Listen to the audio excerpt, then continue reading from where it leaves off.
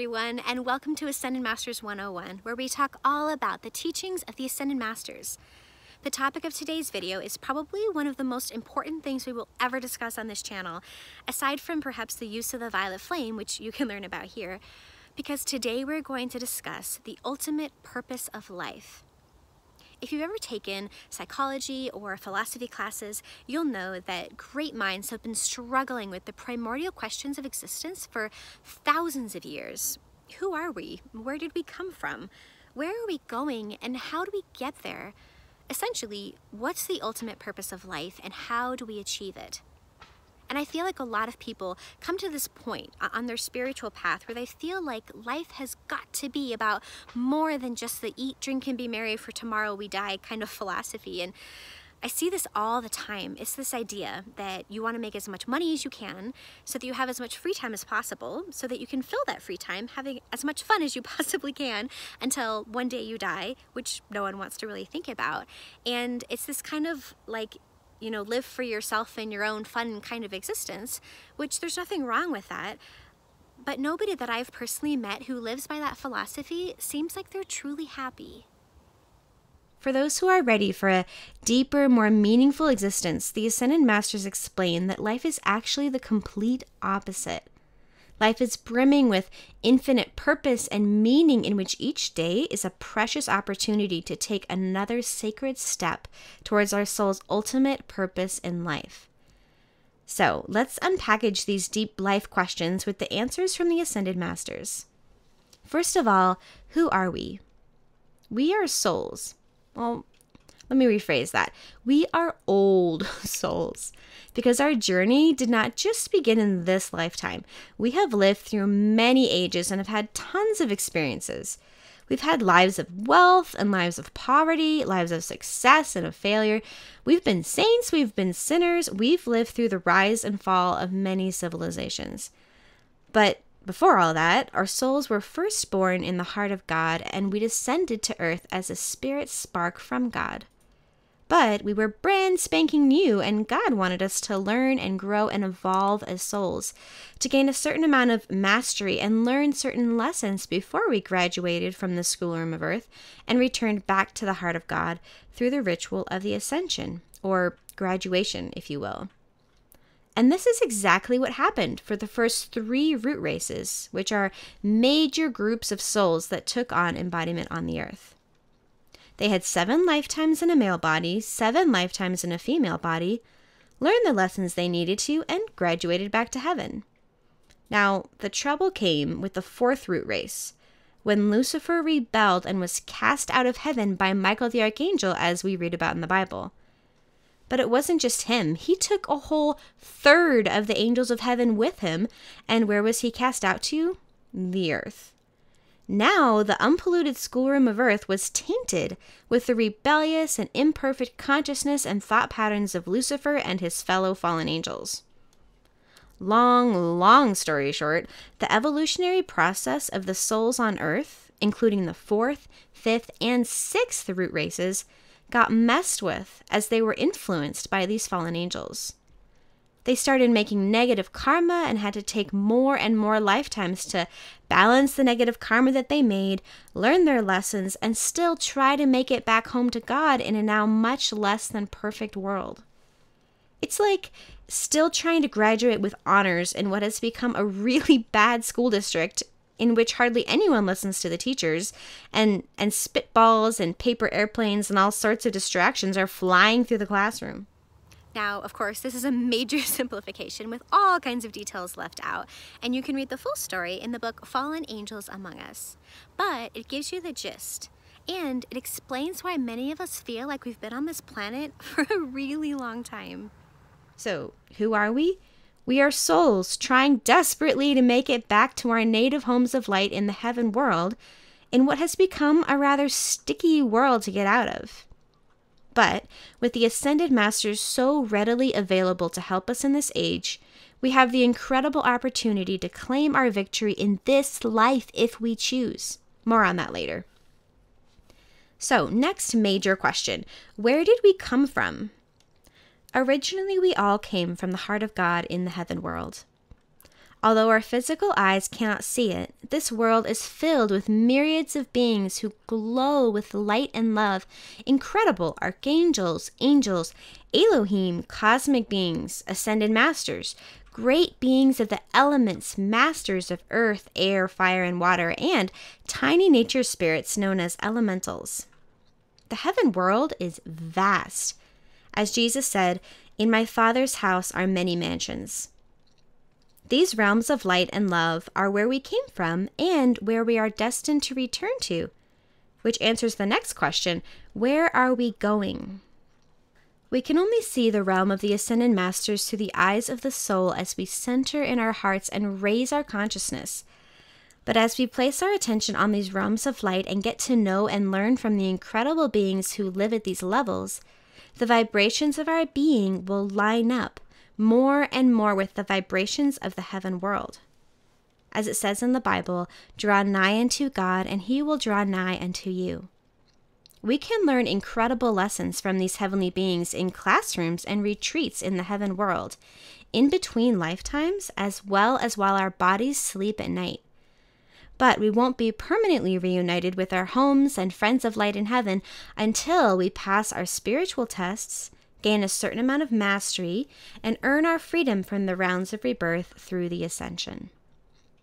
So, lastly, how do we get there? So, how do we get back to God once and for all? By making our ascension, by graduating from the schoolroom of earth, by following in the footsteps of countless others who have walked the path of the ascension before us. The ascension isn't just the goal for one age or one race or, or one religion. It is and always has been the goal of life for sons and daughters of God throughout cosmos since the beginning of creation because it is the path of spiritual evolution. And so the graduates hail from all over the globe and have been the great lights of the ages, the sung and unsung saints and sages from east and west. In fact, there are many more ascended beings than there are people in physical embodiment like you and I. The Bible records a few of the many who have ascended into the light. On page 12 of The Path to Your Ascension, we read a brief list. Quote, Enoch, the seventh from Adam, walked with God, and he was not, for God took him. Elijah ascended into heaven in a chariot of fire. Melchizedek, Mary the mother of Jesus, John the Beloved, Gautama Buddha, Zarathustra, Confucius, Saint Therese of Lisieux, and Pope John the Twenty-Third are only a few of the many ascended saints and hosts of heaven. Once we make our ascension, we become an ascended master or an ascended lady master. So, who are the ascended masters?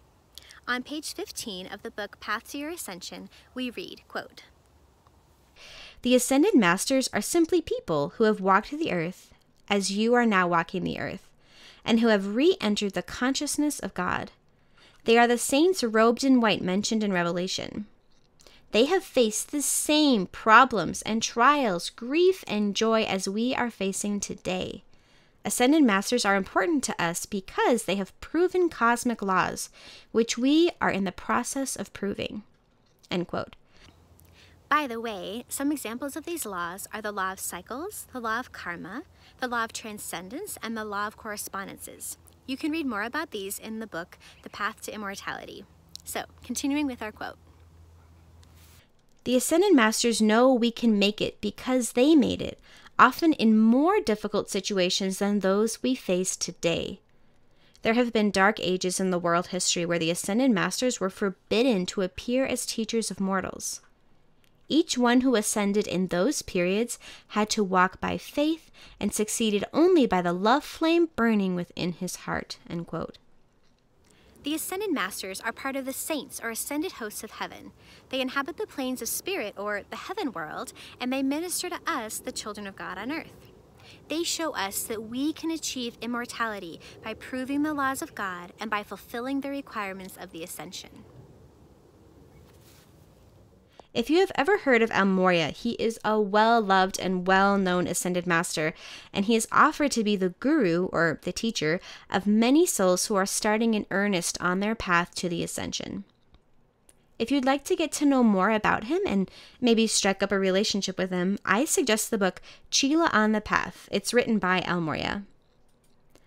I was looking for a way to teach these principles to our daughter, so I put together a simple little song for her that you might find helpful too. The goal of life is to ascend. The goal, the goal of life is to ascend to God. The earth's a school, the earth, the earth's a school. The earth is where we learn how to ascend to God. Morya El, oh Morya, Morya El, teaches us how to ascend to God. The goal of life is to ascend. The goal, the goal of life is to ascend to God. Serapis Bey, the Ascended Master who especially teaches us about the Ascension, explains that making progress towards your ascension is like climbing a pyramid. He explains that we're all climbing the pyramid of the Ascension. The sides of the pyramid look smooth, but they're really large blocks of stone, individual steps that take you to the summit. Our thoughts, feelings, and actions are all steps by which we are walking toward the apex of our own pyramid. Now, we don't scale this all at once. Instead, we ascend a little bit each day. Just like the pyramids of Giza, some steps on our pyramid may be broken, weathered, and even missing. I'm sure we can all draw plenty of analogies between this image and the rough spots and imperfections in our own lives. The Ascended Masters explain that life isn't always a constantly ascending spiral with steady progress up the pyramid. At times, we have to stop and pause to catch our breath, or we may stumble and slip down a step or two. El Morya teaches us, quote, Do not then decry the fact that you must of necessity make some mistakes. Do not remain upon the ground when you fall or stumble. Arise at once and proceed onward. Page 32 on Path to Your Ascension. So, what happens when someone makes their ascension? In chapter 6 of The Path to Your Ascension, this process is explained really beautifully. I'll summarize it briefly here. When you ascend, the appearance of age drops away and your magnetism and energy becomes the unlimited power of God pulsing through your being.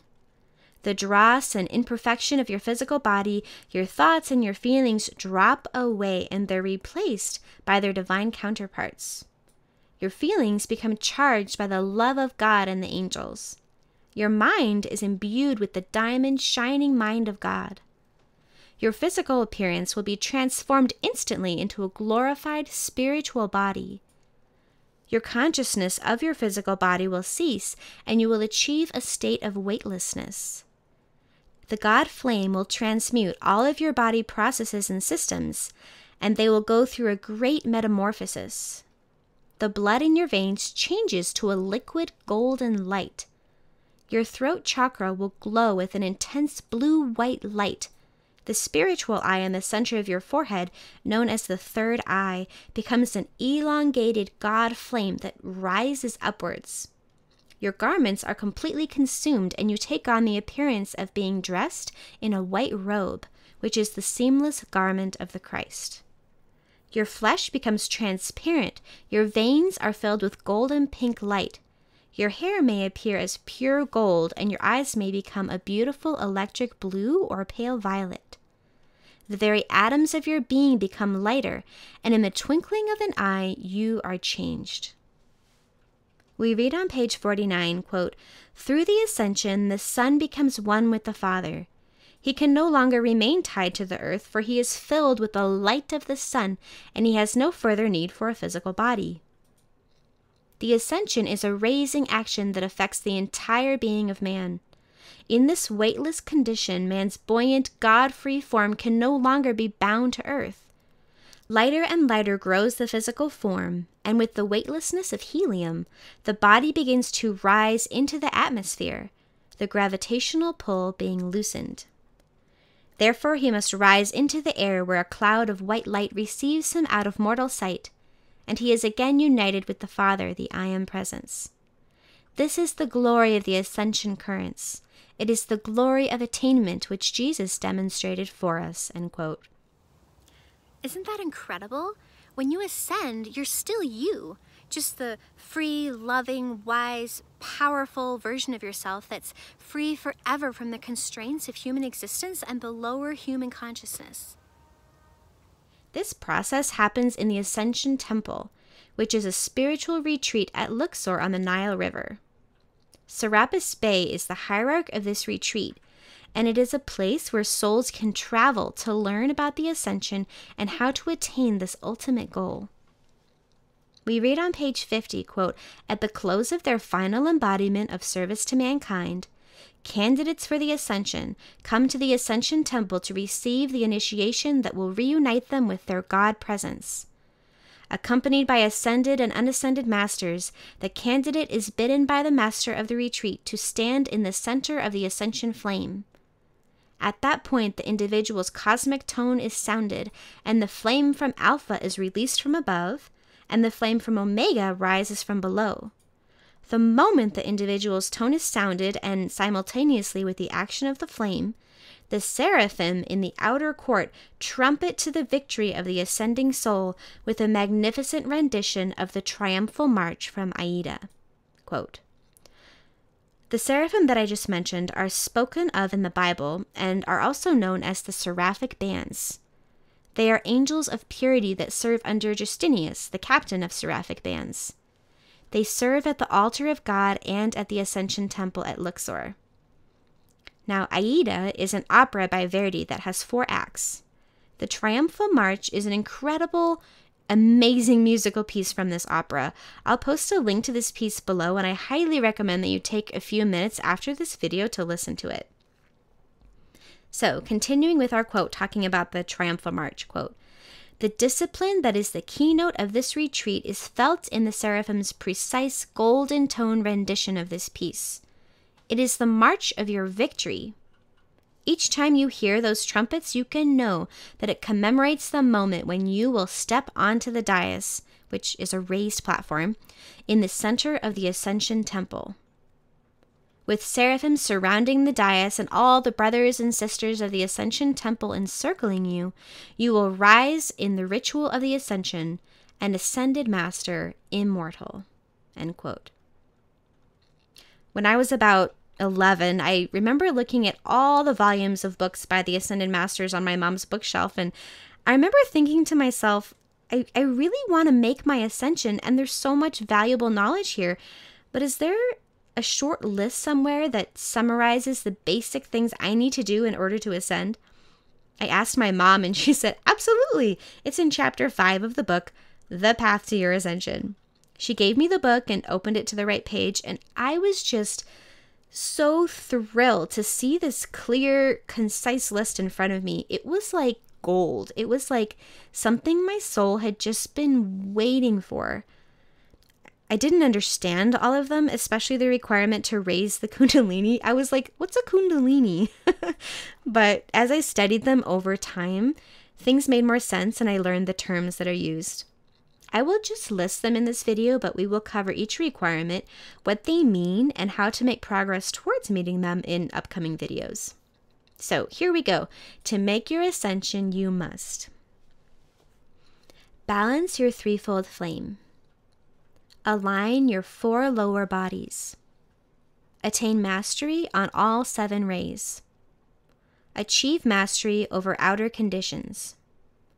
Fulfill your divine plan. Transmute the electronic belt. Raise the Kundalini. And balance 51% of your karma. And those are the eight requirements. It's a lot, but it's nothing that can't be done. In fact, the Ascended Masters have told us that we can make our ascension in this life or the next in certain extenuating circumstances if we will really apply ourselves. El Morya says, You can make it if you try. And even though it will take all of our effort and self sacrifice, Morya tells us, the trek upward is worth the inconvenience. Now, the possibility of ascending in this life is amazing and something that when I heard it, it lit a fire under me like nothing else ever had before. I mean, talk about something to live for and to strive towards. Forget about a fancy house or fame or prestige as a life goal. How about graduation from the planet and permanent reunion with God as a life goal?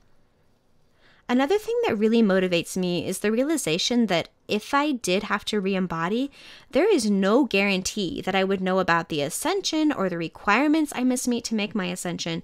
I may not even know about the Ascended Masters or the tests that I need to pass in order to make it home free. I'll be searching for the meaning of life all over again, and not having this knowledge is not a chance I want to take. So, I, for one, am super motivated to make this my last lifetime, and I hope you're motivated too. In the Keepers of the Flame lessons, I remember reading something to the effect of The day and the hour of thy ascension does depend on how you fill the hours and the days leading up to that date. End quote. Essentially, life is short, and we can make our ascension in this life more likely if we will use each precious day to take another step towards our goal, no matter how small. All of a sudden, your life is infused with meaning, joy, challenge, and purpose as you make it your life's goal to find and reunite with God. A songwriter and a good friend of mine, Terry Canady, put these themes to music in a song called Who Were You? Fortunately for us, it's on YouTube. Here's the link, and I'll post it in the comments below as well. If you want to dive into learning about the Ascension, I obviously highly recommend the book I've been referencing this whole video, The Path to Your Ascension by Annice Booth. It's written in a friendly, conversational style and is based directly on the teachings of the Ascended Masters.